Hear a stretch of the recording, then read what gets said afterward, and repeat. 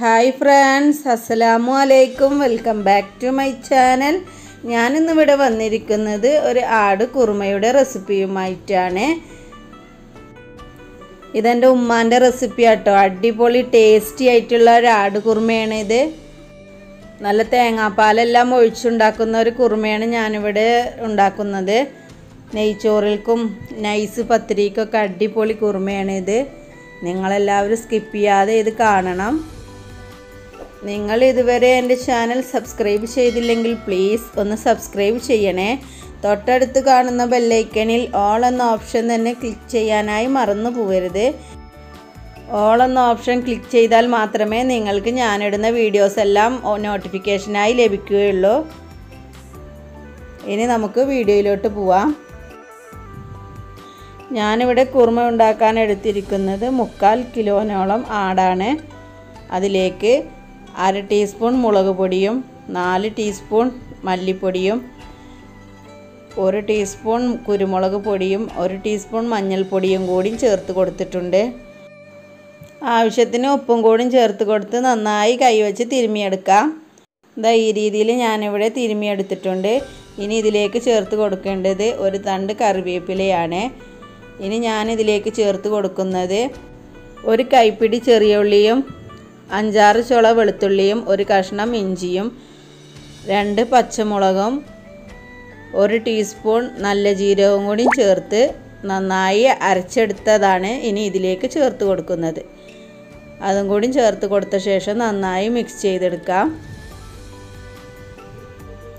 എല്ലാ ഭാഗങ്ങൾക്കും എത്തുന്ന രീതിയിൽ നമുക്കൊന്ന് നന്നായി മിക്സ് ചെയ്തെടുത്ത് ഇത് കുറച്ച് നേരം റെസ്റ്റ് ചെയ്യാനായി മാറ്റി വെക്കാം ഒരു മണിക്കൂറോളം നമുക്കൊന്ന് റെസ്റ്റ് ചെയ്യാനായി മാറ്റി വെക്കണം ഇനി ഒരു മണിക്കൂറിന് ശേഷം ഞാൻ ഗ്യാസിലേക്ക് ഒരു പാൻ വെച്ച് കൊടുത്തിട്ടുണ്ട്. അതിലേക്ക് രണ്ട് മൂന്ന് ടീസ്പൂൺ വെളിച്ചെണ്ണ ഒഴിച്ചു കൊടുത്തു. ഒരു വലിയ സബോളയും കൂടി അതിലേക്ക് ഇട്ട് കൊടുത്തിട്ടുണ്ട്. എന്നിട്ട് ഒരു ചെറിയ കഷ്ണം ഇഞ്ചി ചതച്ചത് അതിലേക്ക് ഇട്ട് കൊടുത്തിട്ടുണ്ട്. ഇനി ഒരു പിടി കറിവേപ്പില കൂടി ഇട്ട് കൊടുക്കാം. എന്നിട്ട് നന്നായി ഇളക്കി കൊടുക്കണം. ഇനി ഇതിലേക്ക് ഗരം മസാല ചേർത്ത് കൊടുക്കുന്നുണ്ട്. മസാല കൂട്ടുന്നതിൽ ഗരം മസാല കൂട്ടിയിട്ടില്ല. എണ്ണയിൽ ചേർക്കുന്നതാണ് ഗരം മസാല നല്ലത്. നല്ല മണം കിട്ടും. ഇനി നമുക്ക് റെസ്റ്റ് ചെയ്യാനായി മാറ്റിവെച്ച മട്ടൻ ഇതിലേക്ക് ഇട്ട് കൊടുത്ത് നന്നായി ഇളക്കി കൊടുക്കണം. തക്കാളി ഒന്നും നമ്മൾ ഇതിലേക്ക് ചേർത്ത് കൊടുക്കുന്നില്ല. ഇഞ്ചി ചതച്ചത് ഇട്ടാൽ നല്ലൊരു മണത്തിന് വേണ്ടിയാണ് ഇതിലേക്ക് ചതച്ചിട്ട് രണ്ടാമത് ഇട്ട് കൊടുത്തിട്ടുള്ളത്. ഇനി നന്നായി ഇളക്കി കൊടുത്ത ശേഷം നമുക്ക് കുറച്ച് വെള്ളം ഒഴിച്ചു കൊടുക്കാം.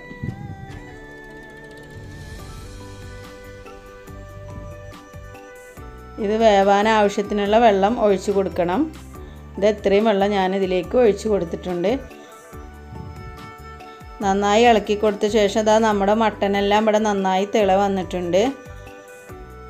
ഒന്നും കൂടി മിക്സ് ചെയ്ത് കൊടുത്ത ശേഷം നമുക്കിതൊന്ന് മൂടി വെച്ച് വേവിച്ചെടുക്കാം. ഇനി മട്ടനെല്ലാം വെന്ത് വരുന്ന ടൈം കൊണ്ട് നമുക്ക് കുറച്ച് തേങ്ങാപ്പാൽ എടുക്കണം. അതിനുവേണ്ടി ഞാനൊരു തേങ്ങ എടുത്ത് ചിരവിയിട്ടുണ്ട്. ഇനി ഞാൻ ഒന്നാം പാലും രണ്ടാം പാലും കൂടി എടുത്തു വരാം. ഇനി ഇതാ നമ്മുടെ മട്ടനെല്ലാം ഇവിടെ നന്നായി വറ്റി വെന്ത് വന്നിട്ടുണ്ട്. ഇനി നമുക്ക് ഇതിലേക്ക് ചേർത്ത് കൊടുക്കേണ്ടത് രണ്ടാം പാലാണ്. രണ്ടാം പാലെല്ലാം ഒഴിച്ചു കൊടുത്ത ശേഷം നന്നായി ഇളക്കി കൊടുത്ത് ഒന്ന് നല്ലോണം വറ്റി ഒന്ന് തിളച്ച് വറ്റി വരണം. ഇനി ഒന്ന് തിളച്ച് വരട്ടെ. രണ്ടാം പാലിലെല്ലാം കിടന്ന് നന്നായി തിളച്ച് ഒന്ന് കുറുകാനായാൽ നമുക്കിതിലേക്ക് ചേർത്ത് കൊടുക്കേണ്ടത് ഒന്നാം പാലും കൂടിയാണ്. അതും കൂടി ചേർത്ത് കൊടുത്ത് നമുക്ക് ഫ്ലെയിം ഓഫ് ചെയ്യാം. ഒന്നാം പാൽ ചേർത്ത് കൊടുത്താൽ അധികം തിളക്കണ്ട. ഇനി നമുക്ക് ഫ്ലെയിം ഓഫ് ചെയ്തിട്ട് ഇതൊന്ന് വറവിട്ടെടുക്കാം. വറവിടാനായി ഞാൻ ഗ്യാസിലേക്ക് ഒരു മൺചട്ടി വെച്ചിട്ടുണ്ട്. അതെല്ലാം ചൂടായി വന്നതിന് ശേഷം കുറച്ച് വെളിച്ചെണ്ണ കൂടി ഇതിലേക്ക് ഒഴിച്ചു കൊടുത്തിട്ടുണ്ട്.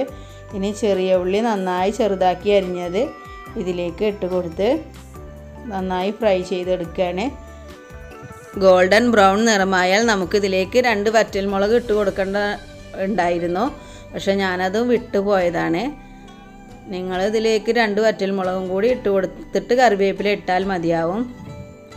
കറിവേപ്പിലയും പിന്നെ പുതിനയും കൂടി ഇട്ട് കൊടുത്തിട്ടുണ്ട് ഞാൻ എന്നിട്ട് നമുക്കിത് കറിയിലേക്ക് ഒഴിച്ചു കൊടുക്കാം. ഇതാ നമ്മുടെ മട്ടൻ കറി ഇവിടെ അടിപൊളിയായിട്ട് വന്നിട്ടുണ്ട്. സൂപ്പർ ടേസ്റ്റി ആയിട്ടുള്ള മട്ടൻ കറിയാണ്. നിങ്ങളെല്ലാവരും തീർച്ചയായും ട്രൈ ചെയ്ത് നോക്കണം. ഫീഡ്ബാക്ക് കമൻസിലൂടെ എന്നെ അറിയിക്കുകയും വേണം.